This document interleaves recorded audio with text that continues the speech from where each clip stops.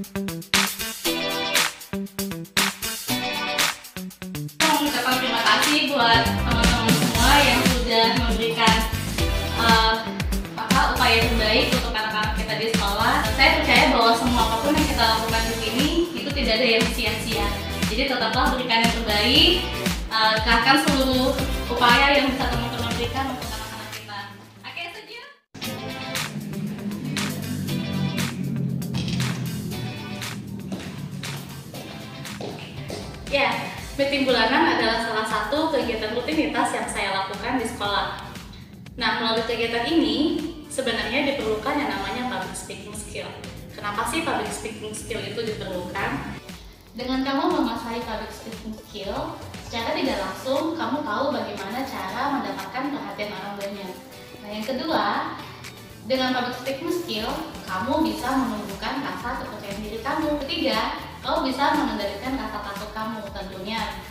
Kalau kita ketemu orang banyak, biasanya kita akan langsung nervous. Tapi ketika kamu menguasai public speaking skill, percayalah rasa takut itu dengan sendirinya akan hilang. Poin yang paling penting menurut saya adalah apa pun pekerjaan kamu, jika kamu menguasai public speaking skill ini dengan baik, maka akan memberikan nilai positif juga untuk karir